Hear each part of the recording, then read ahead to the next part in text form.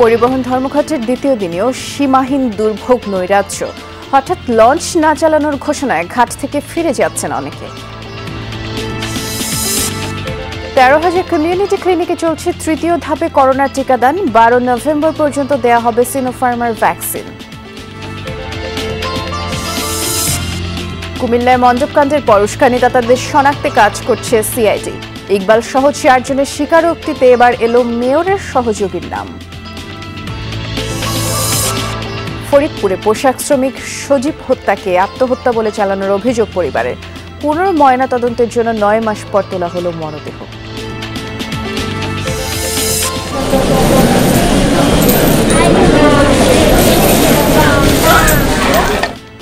কিশোরগঞ্জের পাগলা মসজিদের দান বাক্স খুলে পাওয়া গেল তিন কোটির বেশি টাকা। দেশি বিদেশি মুদ্রা সহ মিলেছে বিপুল পরিমাণের স্বর্ণ, রূপার অলঙ্কার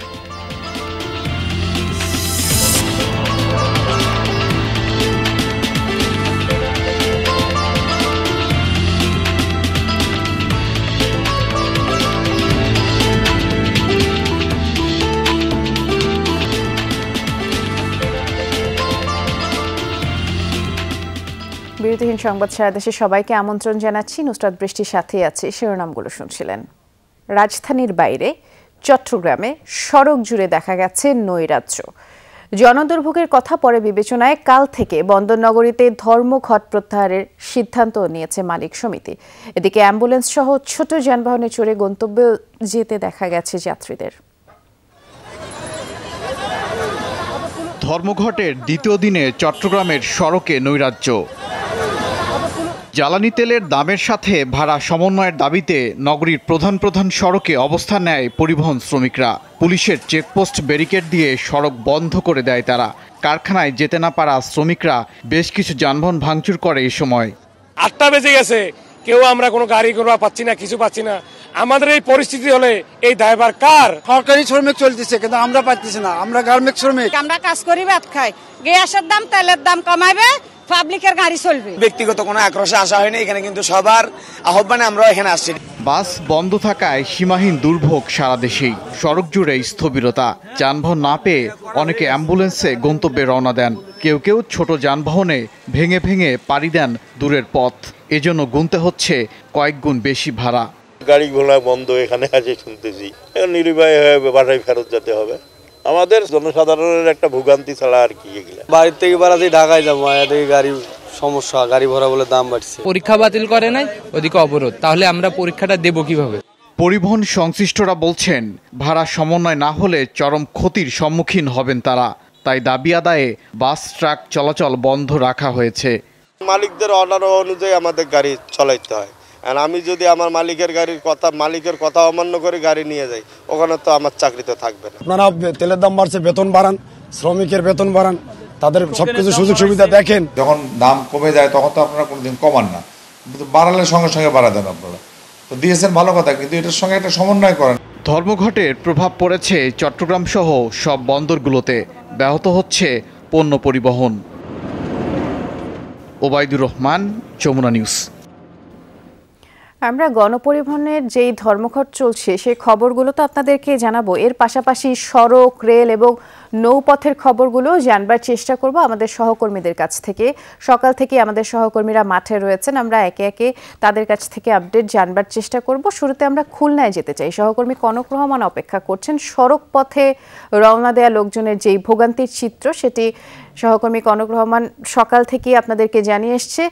কনক, ঠিক এই মুহূর্তে এসে দিনভর যেই ধর্মঘটে মানুষের দুর্ভোগ আপনি দেখলেন, কীভাবে তারা চলাচল করেছেন, সেটিও দেখেছেন। একটু সংক্ষেপে যদি দর্শকদের জানিয়ে দিতেন।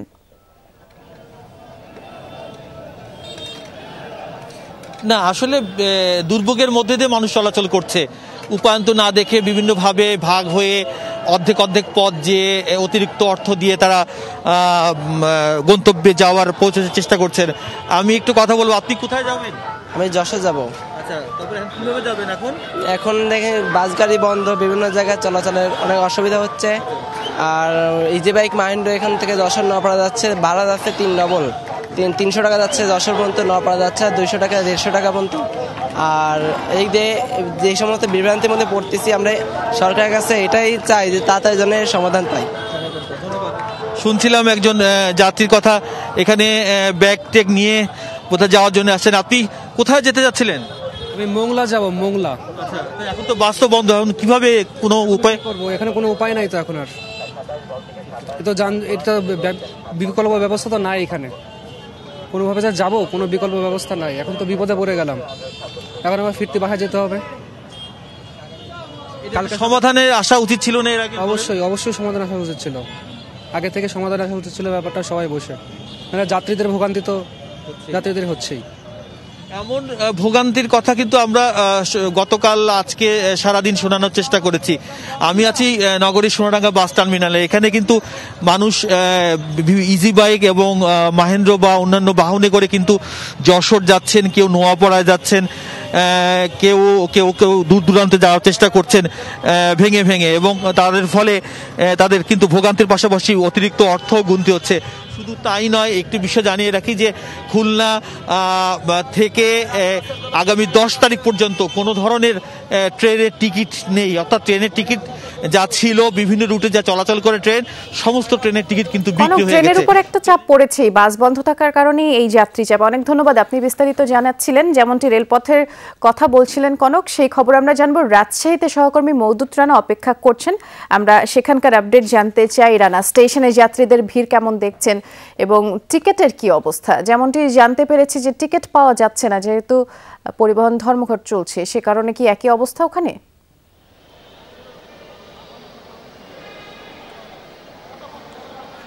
হ্যাঁ বৃষ্টি আমি একটু দেখাই আপনার। আমার পিছনেই লম্বা লাইন দেখতে পাবেন। টিকিটের জন্য তারা অপেক্ষা করছেন। অন্যান্য সাধারণ দিনে আসলে এত ভিড় থাকে না, কিন্তু গত দিন থেকেই এমন ভিড় লক্ষ্য করা যাচ্ছে এবং বেলা যত বাড়ছে, এই ভিড়ও তত বাড়ছে।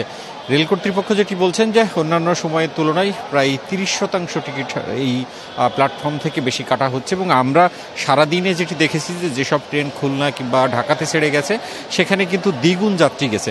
যারা আসন পেয়েছেন, তারা সেই টিকিটের নির্দিষ্ট আসনে বসেছেন।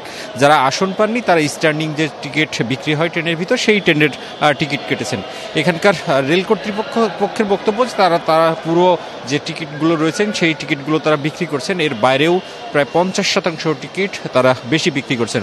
অর্থাৎ একটি ট্রেনে নির্দিষ্ট সংখ্যক যে যাত্রীর আসন রয়েছে, তার থেকেও দ্বিগুণ যাত্রী তারা পরিবহন করছেন। তারা বলছেন যে মানবিক কারণেই করছেন, কারণ সাধারণ মানুষ খুবই ভোগান্তিতে রয়েছে এবং তারা অবর্ণনীয় কষ্ট ভোগ করছে। আমরাও দেখেছি যে ট্রেনে গাদাগাদি করে যাত্রীরা গেছেন। আমরা যেটি রেল কর্তৃপক্ষ বলছেন যে তাদের নিয়ম না থাকলেও শুধুমাত্র যাতে সাধারণ মানুষ তাদের নির্দিষ্ট গন্তব্যে যেতে পারে, তারা সেই দায়িত্বটির কাজটি করছেন। এবং সবচেয়ে বেশি যাত্রী রাজশাহী থেকে ঢাকা, রাজশাহী থেকে খুলনা এবং রাজশাহী থেকে ফরিদপুরের উদ্দেশ্যে যাচ্ছেন।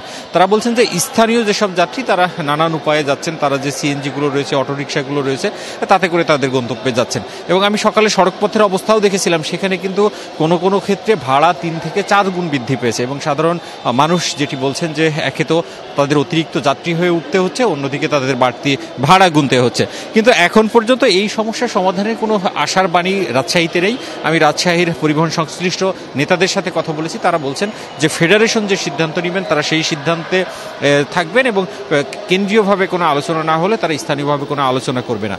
বৃষ্টি। অনেক ধন্যবাদ, রানা। এবার একটু বরিশালে যাব। সহকর্মী কাউসার হোসেন অপেক্ষা করছেন। লঞ্চ চলাচলের খবরই জানতে চাই। কাউসার, হঠাৎ করে ঢাকা বরিশাল রুটে এরকম লঞ্চ চলাচল বন্ধের একটি খবর। যাত্রীরা কি বলছেন? নিশ্চয়ই অনেকে ঘাটে এসছেন নির্দিষ্ট গন্তব্যে যাওয়ার জন্য। তাদের কাছ থেকে কি জানতে পারলেন?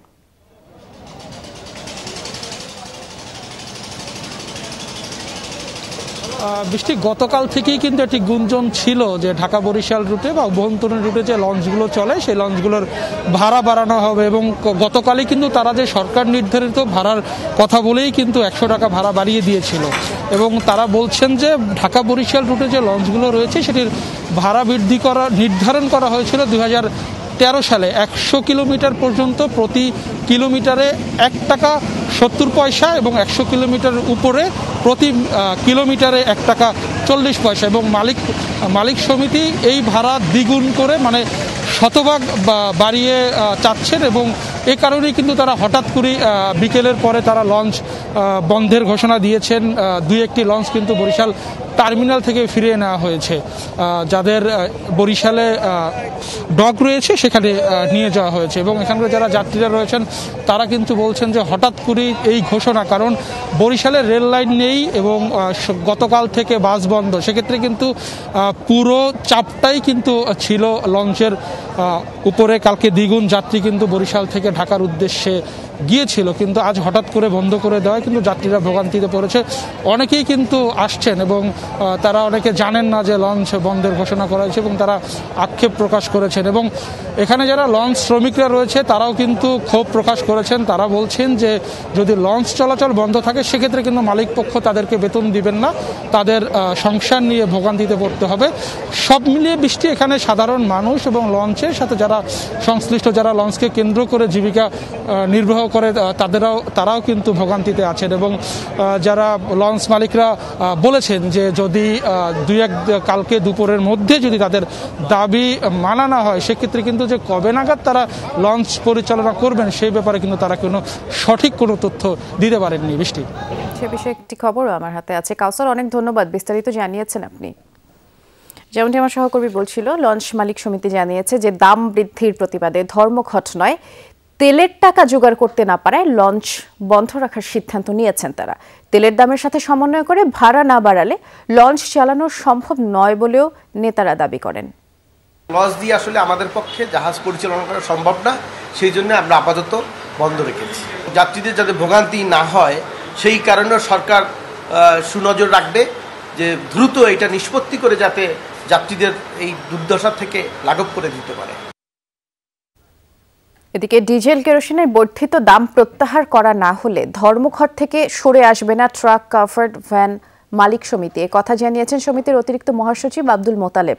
সকালে স্বরাষ্ট্রমন্ত্রীর বাসায় বৈঠক শেষে তিনি এটি জানিয়েছেন। বৈঠকে স্বরাষ্ট্রমন্ত্রী, প্রধানমন্ত্রীর সাথে কথা বলে বিষয়ে সিদ্ধান্ত নেওয়ার আশ্বাসও দিয়েছেন বলে মালিকরা জানান। বুধবার মধ্যরাত থেকে ডিজেল কেরোসিনের মূল্য লিটার প্রতি পনেরো টাকা বৃদ্ধি করে সরকার, যার ফলে ভাড়া বাড়ানোর সুনির্দিষ্ট ঘোষণা না দেওয়া পর্যন্ত শুক্রবার থেকে পরিবহন বন্ধ রাখার সিদ্ধান্ত নেওয়া হয়েছিল। সরকার যদি আগের দামে তেলের ফুয়েল রেট নিয়ে চলে আসে অবশ্যই সাথে সাথে আমাদের গাড়ি চলবে আমাদের ধর্মঘট আর থাকবে না। আমাদের কর্মসূচি তখন আমরা বন্ধ করব। কিন্তু এখন পর্যন্ত আমাদের কর্মসূচি অব্যাহত আছে এটা চলবে। পাটুরিয়ে ডুবে যাওয়া আমানত শাহ ফেরি উদ্ধারে এখনও প্রস্তুতি পর্ব চলছে। এখন পর্যন্ত উদ্ধারকারী তিনটি সেলফ বার্জ ঘটনাস্থলে পৌঁছেছে।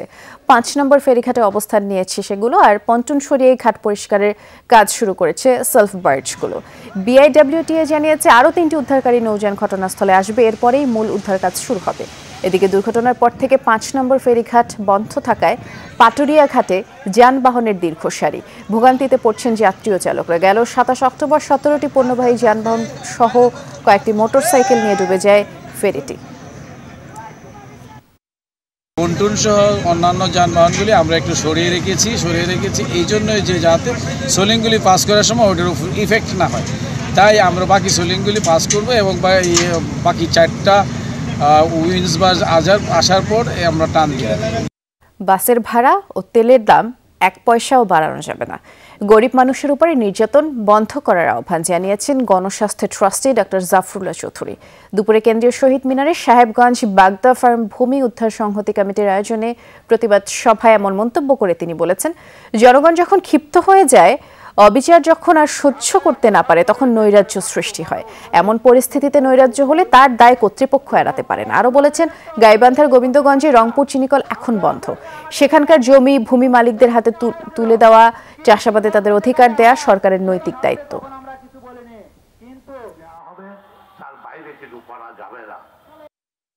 বাসের ভাড়া বাড়ানো যাবে না। আজকে আপনারা রায় দেন আর এক পয়সাও এখানে জ্বালানির দাম বাড়ানো যাবে না। আজকে মানুষকে বাদ দিয়ে তো দেশ না। কোনো গরিব মানুষের উপরে আর অত্যাচার করা যাবে না। গোবিন্দগঞ্জের সব সম্পত্তি ফেরত দেন, চার ফসলি জমিকে ব্যবহার করার অধিকার দেন, এটা আপনাদের দায়িত্বের মধ্যে পড়ে। দেশের প্রায় তেরো হাজার কমিউনিটি ক্লিনিকে শনিবার থেকে করোনা প্রতিরোধী ভ্যাকসিন দেওয়ার কাজ শুরু হয়েছে। সত্তর লাখ প্রান্তিক মানুষকে টিকার আওতায় আনতে সরকারের এই বিশেষ ক্যাম্পেইনে এক সপ্তাহ চলবে। প্রতিটি ক্লিনিকে একদিন করে এই আয়োজন করার কারণে প্রথম দিনে একেবারে উপচে পড়া ভিড় ছিল। আর ভ্যাকসিন নিতে আগ্রহী মানুষের ভিড় সামলাতে কোথাও কোথাও কমিউনিটি ক্লিনিকের আওতাধীন এলাকায় একাধিক টিকা কেন্দ্রও খোলা হয়েছে।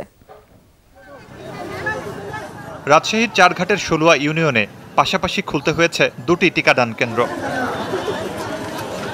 একদিনই দেয়া হবে ভ্যাকসিন, তাই স্থানীয় কমিউনিটি ক্লিনিকে আগ্রহীদের চাপ সামলাতে এই ব্যবস্থা। ক্লিনিক প্রতি অন্তত পাঁচশো জনকে দেওয়ার কথা এই ভ্যাকসিন। সেখানে মানুষের সুবিধা বিবেচনায় রাজশাহীর এই ইউনিয়নে তিনটি আলাদা কেন্দ্র খোলা হয়েছে। তারপরেও টিকা শেষ হয়ে যাওয়ায় ফিরতে হয়েছে অনেককে। রোজ মাথার উপরে এই এক ঘণ্টা দেড় ঘণ্টা দাঁড়া থাকতে কষ্টই তো হয়। সবার দিচ্ছে ওখানে দাঁড়াইছিলাম কাউন্সিলে তারপরে এখানে আসছি। প্রান্তিক মানুষের জন্য বিশেষ এই টিকাদান ক্যাম্পেইন দেশের সবগুলো সচল কমিউনিটি ক্লিনিকে চলবে। তবে একটি ক্লিনিকে একদিনই দেয়া হবে সিনোফার্মের টিকা। আগে নিবন্ধন করেও যারা টিকা পাননি তাদের পাশাপাশি নারী ও বয়স্কদের অগ্রাধিকার দেয়া হচ্ছে। দ্রুত হয়েছে খুব ভালো হয়েছে টিকা দেয়া কোনো ইয়ার সমস্যা নাই। আমারও কোনো সমস্যা হয়নি। টিকাটা মানে ভালোভাবেই তো দিল কোনো সমস্যা বুঝতে পারিনি। ছাব্বিশ শতাংশ থেকে বাড়িয়ে সারা দেশে আশি শতাংশ মানুষকে টিকার আওতায় নিতে সরকারের এই উদ্যোগ চলবে বারো নভেম্বর পর্যন্ত। এখন যে ভ্যাকসিনটা আমরা দিচ্ছি সেটা হচ্ছে সিনোফার্মের ভ্যাকসিন যেটা আপনারা জানেন যে চীন থেকে এসেছে। যেহেতু আমাদের স্টুডেন্টের চাপটা আপাতত কমছে এই কারণে এখন আমরা সব ধরনের মানুষকেই আসার জন্য বলছি। এর আগে দেশজুড়ে আগস্ট ও সেপ্টেম্বরে আরও দুটি বিশেষ টিকাদান ক্যাম্পেইনের আয়োজন করা হয়েছিল। এবার ক্যাম্পেইন চলাকালে যেদিন যিনি প্রথম ডোজ পাবেন, পরের মাসের সেই একই দিনে পাবেন দ্বিতীয় ডোজ। মুর্শিদুজ্জামান হিমু, যমুনা নিউজ। কুমিল্লায় মণ্ডপকাণ্ডের পরে সহিংসতা বৃদ্ধিতে উস্কানিদাতাদের শনাক্তে ব্যবহার করা হচ্ছে ডিজিটাল ডিভাইস। সিসিটিভি ফুটেজ বিশ্লেষণের পাশাপাশি খতিয়ে দেখা হচ্ছে জড়িতদের রাজনৈতিক সম্পৃক্ততাও। এদিকে ধর্মীয় অনুভূতিতে আঘাত হানার মামলায় গ্রেফতার ইকবাল সহ চারজনের স্বীকারোক্তিও যাচাই বাছাই চলছে। সিআইডি বলছে, সবকিছু বিশ্লেষণ করেই পাওয়া যাবে ঘটনার মূল হোতাদের। কুমিল্লায় মণ্ডপকাণ্ডে দায়েরকৃত ধর্মীয় অনুভূতিতে আঘাত হানার মামলায় নজরদারিতে আছেন বেশ কয়েকজন ব্যক্তি। সম্প্রতি এমন তথ্য জানায় পুলিশ। কিন্তু তারা কারা? প্রশ্নের উত্তর মূলত খোঁজা হচ্ছে ঘটনার সময় ভিডিও ফুটেজ পর্যালোচনা করে। ঘটনাস্থলে নানা তৎপরতায় সক্রিয় ছিল ইকবাল ট্রিপল নাইনে ফোন করা ইকরাম ও ঘটনাস্থল থেকে ফেসবুক লাইভ করা ফয়েজ। কুমিল্লা সিটি কর্পোরেশনের মেয়র ও বিএনপি নেতা মনুল হক সাক্কুর সহকারী বাবুকেও দেখা যায় বেশ তৎপর ভূমিকায়।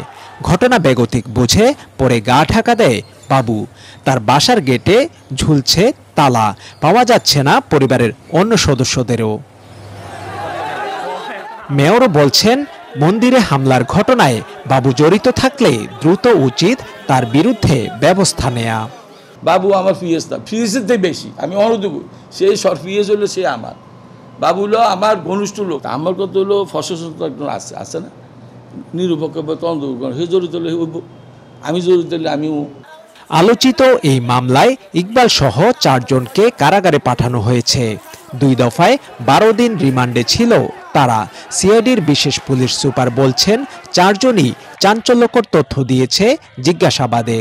পলিটিক্যালি এবং নন পলিটিক্যাল অর্থাৎ যে সোশ্যাল গ্রুপ আছে, সবগুলোকেই আমরা যাচাই বাছাইয়ের আওতায় এনেছি সার্ভিলেন্সে রেখেছি। তো সুস্পষ্ট এভিডেন্স কালেকশন সাপেক্ষে আমরা প্রয়োজনীয় ব্যবস্থা গ্রহণ করব। তেরো অক্টোবর সকালে নানুয়া দিঘি এলাকায় অস্থায়ী পূজা মণ্ডপে কোরআন উদ্ধারের পর সহিংসতার চেষ্টা করে কিছু উত্তেজিত জনতা। পরে সিসিটিভির ফুটেজ দেখে গ্রেফতার করা হয় ইকবালকে। তার দেয়া তথ্য অনুযায়ী উদ্ধার করা হয় খোয়া যাওয়া হনুমানের গদা। খালেদ সাইফুল্লাহ, যমুনা নিউজ, কুমিল্লা। ফরিদপুরের আলফাডাঙ্গায় পোশাক শ্রমিক সজীব আত্মহত্যা করেছেন উল্লেখ করে অপমৃত্যু মামলা হলেও তার পরিবার তা মানছে না। তাদের হত্যা মামলার পরিপ্রেক্ষিতেই পুনর্ময়না তদন্তের জন্য কবর থেকে তোলা হয়েছে লাশ। সজীবের বাবার অভিযোগ, মারধরের পরে বিষপান করিয়ে তার ছেলেকে হত্যা করা হয় আর এসব উল্লেখ করা হয়নি ময়নাতদন্ত বা সুরতহাল রিপোর্টে। মরদেহে অসংখ্য আঘাতের চিহ্ন, অথচ ময়নাতদন্ত রিপোর্টে নেই সেই তথ্য। ফরিদপুরের আলফাডাঙ্গার মিঠাপুর গ্রামের পোশাক শ্রমিক সজীব। আর্থিক লেনদেন নিয়ে দ্বন্দ্ব ছিল স্থানীয় যুবক মুরাদ তালুকদারের সাথে। অভিযোগ সেই দ্বন্দ্বের জেরেই ২৬ জানুয়ারি সজীবকে ডেকে নিয়ে মারধরের পর মুখে বিষ ঢেলে দেয় মুরাদ ও তার সঙ্গীরা। উনত্রিশ জানুয়ারি মারা যায় সজীব। দায়ের হয় অপমৃত্যু মামলা। কিন্তু পরিবার তা মানেনি। দুই মাস থানায় ঘুরে হত্যা মামলা করতে না পেরে তারা মামলা করে আদালতে। তদন্তের নির্দেশ দেওয়া হয় আলফাডাঙ্গা থানাকে। এটা পরিকল্পিতভাবে হত্যাকে আত্মহত্যা রূপান্তরের জন্য এই অপচেষ্টা চলতেছে। জেনুইন সাক্ষী, তাকে বলছে আপনি সই করতে পারেন না, আপনার সাক্ষী দেওয়া লাগবে না। বলা হয় শরীরে অসংখ্য আঘাতের চিহ্ন থাকলেও সুরতহাল প্রতিবেদনে সে তথ্য নেই। লেখা হয়েছে, বিষক্রিয়ার কথা। ২৬ সেপ্টেম্বর পুনঃময়না তদন্তের আবেদন করেন সজীবের বাবা। আদালতের নির্দেশে মৃত্যুর নয় মাস পর বৃহস্পতিবার কবর থেকে তোলা হয় মরদেহ। আগের পোস্টমর্টমটা আমার মনোনীত হয়নি, শুধু বিষের রিপোর্ট আসছে। অথচ আঘাত, আঘাতের কোনো চিহ্নই আসে নাই। এর জন্য আমি আমার মনোনীত না হয় আমি দ্বিতীয়বার রিপোস্টমর্টমের জন্য আবেদন করি। আসামি এখানেই ছিল। একজন না দুজন এখানে ছিল। অথচ সে বলল যে ছয়জনই আসলে আটকা আছে। বাইরে বাইরে আতিথ্য বাইরে বাইরে আর কোনো কুচো কুচো বিচার আমরা চাই। তদন্তকারী কর্মকর্তা জানান অধিকতর তদন্তের জন্যই সজীবের পুনঃময়না তদন্ত হচ্ছে। আসামিদের ধরতে তাদের চেষ্টা অব্যাহত আছে। আমরা আবার দ্বিতীয়বার পুনঃ ময়নাতদন্ত করতেছি ময়নাতদন্ত রিপোর্ট পাওয়া গেলে বোঝা যাবে যে আসলে কি কারণে সে মৃত্যুবরণ করছেন। কাছে তাদের গ্রেপ্তারের জন্য আমাদের অভিযান অব্যাহত আছে। সজীবের মৃত্যুর ঘটনায় জড়িতদের শাস্তি চায় এলাকাবাসী। জোহরা সেতু যমুনা নিউজ। ধারের পাঁচ লাখ টাকা ফেরত চাওয়ায় বরগুনায় খুন হন আফজাল হোসেন বাদল। এ ঘটনার চার মাস পরে হত্যা রহস্য উদ্ঘাটন করল পুলিশ। ঘাতক মিলনকে গ্রেফতারও করা হয়েছে। আদালতে একশো চৌষট্টি ধারায় জবানবন্দিও দিয়েছে সে। হত্যার বিচার দাবি পরিবারের। ছেলে ঢাকায় ব্যবসায়ী, মেয়ের বিয়ে দিয়েছেন। এরপর জীবনের বাকিটা সময় স্ত্রীকে নিয়ে শান্তিতেই কাটাতে চেয়েছিলেন বরগুনার খাজুরতলা গ্রামের আফজাল হোসেন বাদল। কিন্তু একটি ঘটনায় জীবনটাই হারাতে হয় তাকে। চলতি বছরের আঠারো জুলাই রাতের আধারে খুন হন বাদল। কি কারণে হত্যা কারাই বা জড়িত তা জানা যাচ্ছিল না। মামলাও করে পরিবার। অন্ধকারে ছিল পুলিশ। শব্দ পাই আমি ওই জায়গায় গেছি। যাই আমি যাও না ফাঁক করে যাও না ওই থাইটে এমনি তাকাই। তাকাই কোনো লোকজন দেয় না। তখন আমি আবার এই খাটে নামাজ পড়তে বসি। দরজা খুলে দাঁড়িয়ে দেখি যে আমার ভাই গুরুতর আহত। মাথা তখন দেখি যে ওই রক্ত। মানুষের দাঁড়ানোর মতো একটা আফসার মতো দেখছি। তো আমি এসে তো কেয়ার করি না তো আমি তার সোজাসুজি এসে লাইট মেরছি। চার মাস পর উদ্ঘাটন হলো হত্যা রহস্য। তবে তার কারণ জানতে ফেরা যাক তিন বছর আগে। পিক কিনতে প্রতিবেশী মিলনকে পাঁচ লাখ টাকা ধার দেন বাদল। সেই টাকা ফেরত চাইলে বাধে বিপত্তি। তারই জেরে হত্যাকাণ্ড। আমার ওরা তো ওই সামনের দরজা ছিল। আব্বার কথা বলতে বলতে ও বলছে আমি বাথরুমে যাই। আমার বাথরুমে সেই। বাথরুমে গিয়ে বাথরুমে না গিয়ে আসতে পিছে এই যে এই দরজাটা এটা খুলে রেখে গেছে।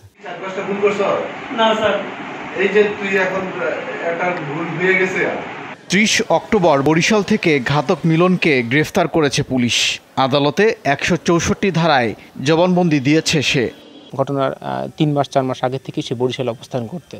আর সে শুধু ওই রাতে একটুখানের জন্য একটু সময়ের জন্য সে যেখানে আসছিল সে প্রুফটা আমরা পেয়ে যাই ডকুমেন্ট পেয়ে যাই ডিজিটাল ডিজিটাল প্রযুক্তির সহায়তায়। অন্য ডিস্ট্রিক্ট থেকে তাকে গ্রেপ্তার করে এনে আদালতে তার স্বীকারোক্তি দেওয়াটা এটা আমাদের জন্য আমি মনে করি একটা বিশাল পাওনা।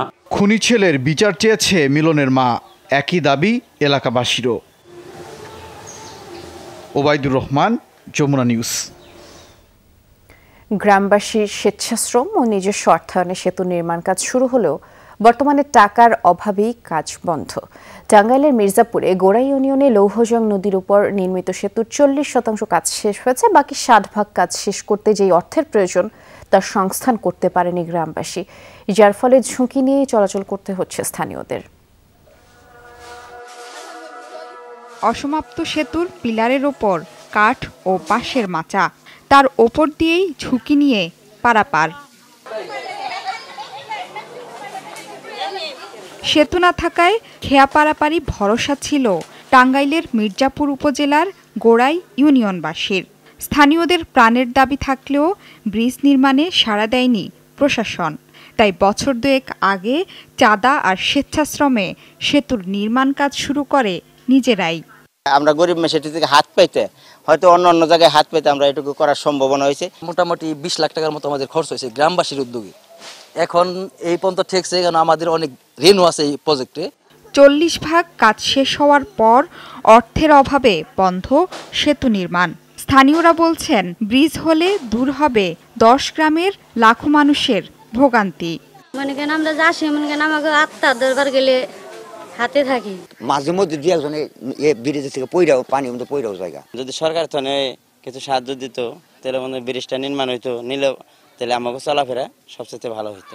অসমাপ্ত সেতুর নির্মাণ কাজে সহায়তার আশ্বাস এলজিইডি ও জেলা প্রশাসনের। ওই ব্রিজটা আমাদের কোনো এলজিডির কোনো রাস্তার মধ্যে অবস্থিত না। তারপরে যদি কোনো কিছু করা যায় আমরা যেয়ে স্থানীয়ভাবে ওখানে যেয়ে আমরা টেকনিক্যাল যে সাপোর্ট লাগে সাপোর্টটা দিব। উপজেলা নির্বাহী অফিসার উপজেলা প্রকৌশলী সহ আমি সেটা সরেজমিনে দেখে এই ব্রিজটি যাতে সম্পন্ন করা হয় জরুরি ভিত্তিতে সেই পদক্ষেপ গ্রহণ করব সেতু নির্মাণে এরই মধ্যে বিশ লাখ টাকা ব্যয় হয়েছে। পুরো কাজ শেষ করতে প্রয়োজন আরও অন্তত ত্রিশ লাখ টাকা। জোহরা সেতু, যমুনা নিউজ। শুরু হয়েছে সুন্দরবনের শুটকি আহরণের মৌসুম। সাগর নদীতে হাজার হাজার জেলে জাল ফেলে নানা প্রকারের মাছ ধরে শুটকি তৈরি চলছে। মৌসুমের শুরু থেকে প্রচুর পরিমাণের মাছ ধরা পড়ছে। তাই করোনাকালীন ক্ষতি পুষিয়ে নেয়ার আশাও তাদের। সুন্দরবনের নিভৃত পল্লী দুবলাচর নিয়ে আমাদের সহকর্মী ইয়ামিন আলী দুই পর্বের ধারাবাহিকের আজ দেখবেন প্রথমটি। গভীর সাগর থেকে মাছ নিয়ে ফিরছে এই নৌকাটি। জালে ধরাও পড়েছে বিভিন্ন প্রজাতির মাছ। মূলত এগুলো করা হবে শুটকি। সুন্দরবনের শরণখোলা রেঞ্জের দুবলার চর আলোর কোল নারকেলবাড়িয়া শ্যালার চর মেহেরালির চর নিয়ে দুবলা শুটকি পল্লী। এবার মৌসুমের শুরু থেকেই মাছ বেশ ভালোই ধরা পড়েছে বলছেন জেলেরা। আশা শুটকিও হবে আশানুরূপী। মাছ ফোনা যাও আলহামদুলিল্লাহ ভালো দেখা যাচ্ছে। বন্তরটা বেশি হয়েছিলাম। কিন্তু মাছ ফোনাও হয়েছিল কিন্তু বৃষ্টিতে নষ্ট হয়ে গেছে করোনা মহামারীর কারণে গেল বছর বেশ লোকসান হয়েছে শুটকি ব্যবসায়ীদের। একটু সহায়তা পেলে এবার সেই ক্ষতি পুষিয়ে নিতে চান তারা। সরকার আমাদের কোনো তো মানে লোন দেয় না। আমরা যদি সরকার সহযোগিতা করতো তাহলে আমরা এই মহাজনের যে এই যে সুদির টাকা যে ঋণ এটা আমরা পরিশোধ করে কিছুটা বাঁচতে পারতাম। এবছর মাছের লাইন একটু ভালো বুঝতেছি যে আমাদের গত বছর যে লস গেছে এই লসটা কাইটে উঠবো এরকম একটা আমাদের আশা আছে। সুন্দরবনের সুটকিপল্লীর জেলেরা কম বেশি ত্রিশ প্রকার জাল ব্যবহার করে আহরিত সামুদ্রিক সাদা মাছ ও চিংড়ি রোদে শুকিয়ে বিদেশে রপ্তানির জন্য প্রস্তুত করে। এবার সেই মাছ আহরণ কাঙ্ক্ষিত মাত্রায় হয়েছে বলছেন বিভাগীয় বন কর্মকর্তা। বর্তমানে আমরা খোঁজখবর নিলাম জেলেদের কাছ থেকে যে তারা এখন বেশ ভালোই মাছ পাচ্ছে। এভাবে যদি তারা মাছ পায় আমাদের ইনশাল্লাহ রাজস্ব যে টার্গেট আমরা আশা করি আমাদের টার্গেট ফুলফিল হবে। ছাব্বিশ অক্টোবর থেকে একত্রিশ মার্চ পর্যন্ত চলবে সুন্দরবনের শুটকি পল্লীতে সামুদ্রিক সাদা মাছ সহ চিংড়ি ও কাঁকড়া আহরণ। মুর্শিদুজ্জামান হিমু যমুনা নিউজ। কিশোরগঞ্জের ঐতিহাসিক পাগলা মসজিদে এ দফায় দান বাক্স খুঁজে মিলেছে তিন কোটির বেশি টাকা। বারোটি বস্তায় পাওয়া গেছে টাকা দেশি বিদেশি মুদ্রাসহ বিপুল স্বর্ণ রূপার অলঙ্কার প্রতি তিন মাস পর পর দান বাক্স খোলার রেওয়াজ আছে সেখানে। কিন্তু করোনার কারণে এবারে চার মাসের বেশি সময় পরে খোলা হয়েছে মসজিদের সবগুলো দান বাক্স। মসজিদের দান বাক্স খুলেই চক্ষু, চড়ক গাছ, বরাবরের মতোই এ যেন টাকার সমাহার। শনিবার সকালে খোলা হয় কিশোরগঞ্জের ঐতিহাসিক পাগলা মসজিদের আটটি দান বাক্স। প্রতিটি বাক্সেই মিলেছে বিপুল পরিমাণ দেশি বিদেশি মুদ্রা স্বর্ণ ও রূপার অলঙ্কার জনশ্রুতি আছে পাগলা মসজিদে দান করলে পূরণ হয় মনের বাসনা।